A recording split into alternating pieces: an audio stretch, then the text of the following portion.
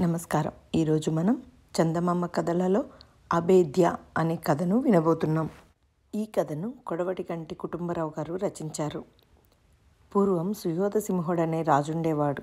అతని తాతగారి కాలంలో వారి రాజ్యం చాలా పెద్దది. అయితే సుయోధుడి తండ్రి భోగలాలసుడు తాగుబోతు అవివేకి కావటం వల్ల చుట్టుపక్కల రాజ్యాలను ఏలే రాజులు దురాక్రమణ చేసి చాలా భాగం అపహరించారు. సుయోధుడు సమర్థుడు దీక్షాపరుడు ధీరుడు. అతను రాజ్యానికి వస్తూనే తన తండ్రి చేసిన అక్రమాలను సర్దుబాటు చేశాడు. తండ్రి చేరతీసిన దుష్టులకు ఉద్వాసన చెప్పాడు. వివేకులైన వారిని ఏరి వారికి వివిధ రాజ్యాంగ శాఖలు అప్పగించి ప్రజలలో కొత్త ఆశ రగిల్చాడు. ఈ పని పూర్తి కాగానే సుయోధుడు తన తండ్రి పోగొట్టుకున్న రాజ్యం యావత్తూ తిరిగి జయించడానికి ఉపక్రమించాడు. అతని యుద్ధ సన్నాహంలో ప్రజలంతా పాల్గొన్నారు. రాత్రింబగళ్ళు కత్తులు ఈటలు బరిసెలు బల్లెములు బాణాలు ఉత్పత్తి చేశారు. అనేక లక్షల మంది ప్రజలు సైనిక విద్య నేర్చుకున్నారు. బలమైన సైన్యము సైన్యానికి తగిన ఆయుధాలు తయారయ్యాయి. రాజ్యమంతటా యువకులు వేదోక్తంగా దీక్షా కంకణాలు ధరించారు. సుయోధుడు తన తాతలనాటి రాజ్యాన్ని తిరిగి సాధించుకునేటందుకు జైత్రయాత్ర ఆరంభించాడు. ఈ యాత్ర ఒకటి రెండేళ్ళ పాటు నిర్విఘ్నంగా కొనసాగింది. కొన్ని రాజ్యాలు సుయోధుడి సైన్యాలను చూసి రాజీ రాయబారాలు జరిపాయి. కొన్ని చోట్ల సైనికులు తమ రక్తబంధువులైన సుయోధుడి సైనికులతో యుద్ధం చేయ నిరాకరించారు. యుద్ధం జరిగిన చోట్ల కొద్దిసేపట్లోనే సుయోధుడి బలాలు శత్రుముఖలను చల్లా చెదురు చేశాయి విజయ పరంపర లభిస్తున్న కొద్దీ సుయోధుడి పరాక్రమము అతి సైనికుల ఉత్సాహము పెరగసాగింది. ఈ విధంగా ఒక్కొక్క ప్రాంతమే గెలుచుకుంటూ ఓడిన రాజులతో ఉదారంగా సంధి చేసుకుంటూ పాత శత్రువులతోనూ వారి వారసులతోనూ మైత్రి సంపాదించుకుంటూ సుయోధుడు అభేద్య అనే రాజ్యపు పొలిమేరలు చేరుకున్నాడు. అభేద్య రాజులకు చాలా బలమైన కోట ఉన్నది. ఊరు చుట్టూ మూడు బలమైన ఎత్తైన ప్రహారీలు ఉన్నాయి ఒక లక్ష సైనికులు ఈ గోడలపైన దాగి ఎంతటి బలమైన సైన్యాన్ని కూడా లోపలికి రాకుండా నిలవేయగలరు. అభేద్య రాజులు సాధారణంగా యుద్ధాలలోకి దిగేవారు కాదు. ఇతరులు తమపై దురాక్రమణ చేస్తే బుద్ధి చెప్పి పంపేవారు. అటువంటి వంశానికి చెందినవాడైన అభేద్యరాజు సుయోధుడి తండ్రి అసమర్థతను గమనించి అతని రాజ్యంలో కొంత అపహరించాడు. దానిని తిరిగి రాబట్టుకోవటానికే సుయోధుడు అభేద్యపై దండెత్తాడు. అభేద్య కోట నిజంగా దుర్భేద్యమైనని కోటను ముట్టడించడం తప్ప మరేమీ మార్గం లేదని కేవలం బలప్రయోగం చేసి కోట ద్వారాలు పగలగొట్టి లోపల ప్రవేశించిన సర్వబల నాశనం తప్ప మరొకటి ఉండదని సుయోధుడి సైన్య సేనానాయకుడు చెప్పాడు. సుయోధుడు కోటను ముట్టడించి అభేద్యరాజు రాజీకి వచ్చే వరకు ముట్టడి సాగుతుందని తెలియజెప్పటానికి కోటలోనికి దూతను పంపాడు. సుయోధుడి దూతకు ఏ ద్వారం వద్ద అవాంతరం కలగలేదు. పైపెచ్చు అతనికి సన్మానాలు జరిగాయి. రెండు మూడు గడేల కాలంలో అతను రాజసౌధానం ప్ర ప్రవేశించాడు. రాజభటులు అతనిని ఒక స్త్రీ ఎదుటికి తీసుకుపోయినారు. ఆ స్త్రీ లాంఛనాలను ధరించి పూర్ణచంద్రులాగా వెలిగిపోతున్నది. ఆమె వయసు కూడా పంతొమ్మిది ఇరవై కంటే ఉండదు. ఆమె సుయోధుడి దూతను సుఖాసీనునిగా చేసి వచ్చిన పని చెప్పమంది. అమ్మ క్షమించాలి. నేను మోసుకువచ్చిన సందేశం తమ ఏలికకు తప్ప నివేదించలేను అన్నాడు దూత.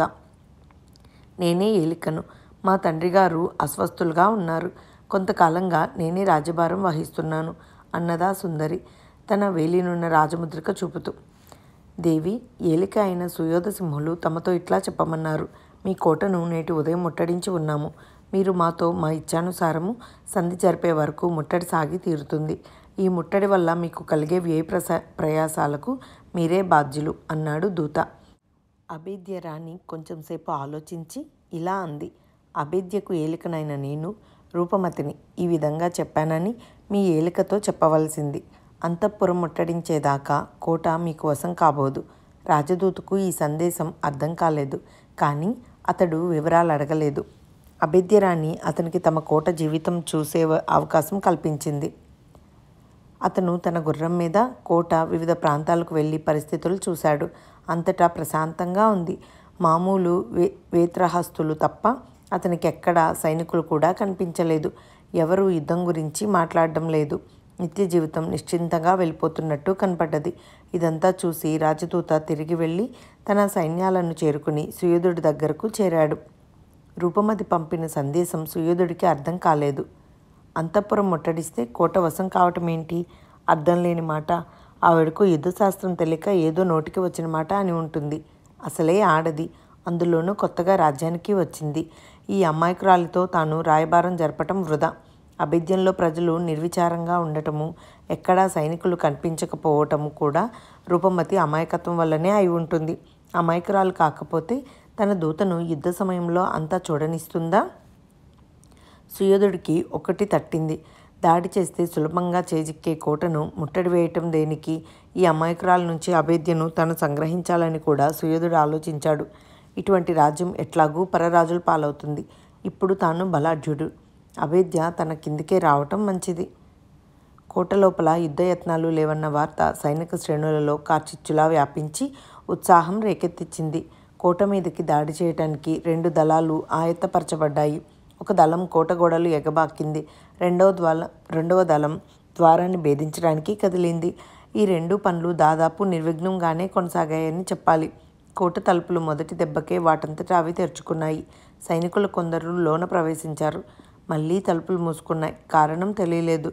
కోటగోడ ఎగబాకిన సైనికులు కూడా ఎట్టి ప్రతిఘటన లేకపోయింది. కానీ ఈ రెండు దళాల సైనికులు మళ్ళీ తిరిగి రాలేదు. వారి గతి ఏమైనది? సుయోధుడికి తెలియలేదు. రెండు రోజులు ఆగి మరింత పెద్ద దాడి చేశాడు. దాని గతి ఇంతే అయింది. సుయోధుడు రూపమతి దగ్గరికి మరొక రాయబారం పంపాడు. ఒక్క వారం రోజుల్లో కోట తనకు వశం కాని పక్షంలో తన సైన్యాలన్నింటినీ ప్రయోగించి కోట మీద దాడి చేసి భీకరమైన యుద్ధంతో సర్వనాశనం చేస్తానని రూపమతిని బెదిరించాడు. రూపమతి నుంచి జవాబు వచ్చింది. అంతఃపురం ముట్టడిస్తే గాని కోట లొంగదు. సుయోధుడికి అపరిమితమైన కోపం వచ్చింది. రూపమతి తాను అనుకున్నంత అమాయకురాలుగా కనిపించలేదు. ఆమె తనను పరిహసిస్తున్నట్టున్నది. ఆమెకెందుకు ఇంత కావరం? బయట నుండి ఏమీ రాకుండా కోటలో వాళ్ళు ఎలా బతుకుతారు? తన సైన్యాలు చుట్టుపక్కల గ్రామాలు కొల్లగొట్టినా కూడా జీవితం దుర్భరంగా ఉంది. ఎండలు వానలు చలి సైనికులను అపరిమితంగా బాధిస్తున్నాయి. ఈ ముట్టడి సాగించడానికి తనకే విసుగుగా ఉన్నప్పుడు కోట లోపలి వారికి ఇంకెంత బాధగా ఉండాలి? ఈ సంగతి రూపమతికి తెలియదా? ఆమె తనతో సంధి ఎందుకు చేసుకోదు? పైపెచ్చు ఈ అర్థం లేని సందేశం ఏమిటి? ఏమైనా సరే రూపమతి కాళ్ళబేరానికి వచ్చేదాకా సుయోధుడు ముట్టడి సాగనించడానికి నిశ్చయించాడు. అతను కోట వాకిలికి ఎదురుగా గుడారం వేసుకొని వాకిలికేసి చూస్తూ కూర్చునేవాడు. ఏ క్షణాన ఆ వాకిలి తెచ్చుకుని రూపమతి తనతో రాయబారానికి వస్తుందో అని నిజం దాచడం దేనికి? ఆమె సౌందర్యం గురించి తన దూత చెప్పినప్పటి నుండి ఆమెను ఒకసారి చూడాలన్న కోరిక కూడా సుయోధుడి హృదయంలో ఉంది. కానీ సుయోధుడి ఆశ ఫలించలేదు. నెలలు గడిచాయి. ఆకాశాన చంద్రుడు ఎన్నోసార్లు అదృశ్యుడు అయినాడు చిక్కి కనిపించాడు. చూస్తుండగానే కోలుకున్నాడు. మళ్ళీ చిక్కాడు. సుయోధుడి మనసు కూడా చంద్రుడిలాగా పరివర్తన చెందుతూ వస్తుంది. రాను రాను సుయోధుడి గతి చాలా హీనస్థితికి వచ్చింది. కోట వెలుపల ఐదారు ఆమళ్ళ మేర ఊళ్ళు కానీ వ్యవసాయం కానీ లేకుండా పోయింది. అభేద్యను సుయోధుడు ముట్టడిస్తే సుయోధుడి బలాలను దేవుడు ముట్టడించినట్టు అయింది. సైనికులకు తిండి లేదు. వారు తమ గుర్రాలను సైతం చంపి తినసాగారు. ముట్టడి విఫలమైందని సుయోధుడి అంతరాత్మకు తెలుసును. అతనికి యుద్ధం మీదనే కాక జీవితం మీదనే విరక్తి కలిగింది. సైనికులకా ఎప్పుడు ఇళ్ళకు పోదామా అని ఉంది. వారిలో ఏమీ ఉత్సాహం లేదు. ఇక ముట్టడి ఎత్తి తిరిగిపోవటం కన్నా సుయుధుడికి గత్యంతరం లేదు. ఈ నిర్ణయాన్ని అతడు వాయిదా వేస్తూ వస్తున్నాడు. ఆ రాత్రి నిండు చంద్రుడు ఆకాశాన్ని వెలుగుతున్నాడు. అర్ధరాత్రి కావస్తుంది. సుయోధుడికి నిద్ర పట్టలేదు.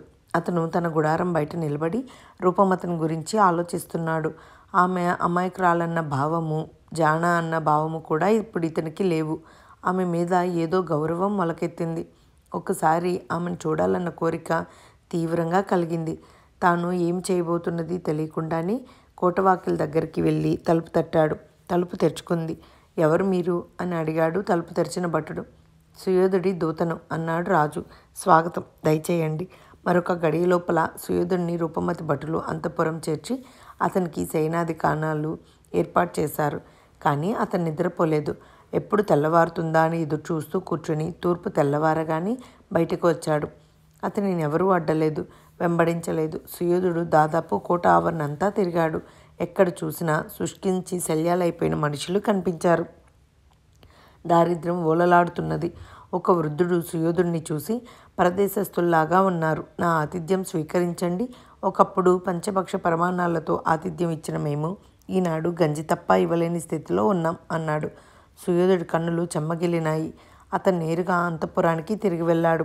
రూపమతి తనకు దర్శనం ఇవ్వడానికి సిద్ధంగా ఉన్నట్టు తెలిసింది. భటులను అనుసరించి సుయోధుడు రూపమతి సమక్షానికి వెళ్ళాడు. ఆమె అతనిని గుర్తించింది. ఎంతో గౌరవంగా మర్యాదలు చేసి దౌత్యానికి మీరే వచ్చారు. దూతలు లేకపోయారా? అన్నది. సుయోధుడు క్షణంసేపు మాట్లాడలేదు. ఆమె సౌందర్యం గురించి తన దూత చెప్పిన మాటల్లో అతిశయోక్తి ఏమీ లేదు. కానీ మామూలు ప్రజలలాగే ఆమె కూడా సృష్టించి ఉన్నది. నీ పట్టుదల నాకు అర్థం కాలేదు. నీ ప్రజలు తిండి లేక అల్లాడిపోతున్నారు. ఈ ముట్టడి ఇంతకాలం పొడిగించడం దేనికి? సంధికెందుకు రాకూడదు? అన్నాడు సుయోధుడు. మీరు అభేద్యను ఎందుకు ముట్టడించవలసి వచ్చిందో మాకు తెలియదు మా తండ్రి గారు మీ తండ్రి గారి నుండి రక్షించిన రాజ్యభాగాన్ని మీరే పాడుపెట్టుకున్నారు. అభేద్య మీకు లొంగదు. మేమంతా ఆకలితో మాడినా అభేద్య అభేద్యంగానే ఉంటుంది. మీరు ముట్టడి ఎత్తి వెళ్ళిపోవటానికి మాకు అభ్యంతరం లేదు. కోటను జయించాలన్నది మీ సంకల్పమైతే అంతఃపురాన్ని ముట్టడించండి అన్నది రూపమతి. సుయోధుడికి ఆమె సందేశం ఇప్పటికీ అర్థమైంది. అతడు తన ఆసనం నుంచి లేచి ఆమె వద్దకు పోయి మోకరించి రూప నేను చేసిన అపచారాన్ని క్షమించు. నన్ను అనుగ్రహించి వివాహమాడు. నాకు నీకన్నా ఆప్తులు లేరు. మనం శత్రువులుగా ఉండలేము అన్నాడు. రూపమతి అతన్ని లేవనెత్తి తన సింహాసనం పైన కూర్చోబెట్టుకుని మంత్రులకు కబురు పంపింది. అంతఃపురం సుయోధుడి వంశ వశమైంది. మరికొద్దిసేపట్లో కోట ద్వారాలు తెరుచుకున్నాయి. సుయోధుడి సైన్యాలకు కోట కూడా వశమయ్యింది. అభేద్యకు తిరిగి శోభ చేకూరింది. మంచి ముహూర్తాన సుయోధుడికి రూపమతికి వైభవంగా వివాహం జరిగింది. ఇంతటితో ఈ కథ సమాప్తం. మీకు ఈ కథ నచ్చినట్లయితే ప్లీజ్ లైక్ చేయండి షేర్ చేయండి మన ఛానల్ను సబ్స్క్రైబ్ చేసుకోండి. మీ విలువైన అభిప్రాయాలను కామెంట్స్ రూపంలో తెలియచేయండి. మరొక మంచి కథతో మళ్ళీ కలుద్దాం. Thank you.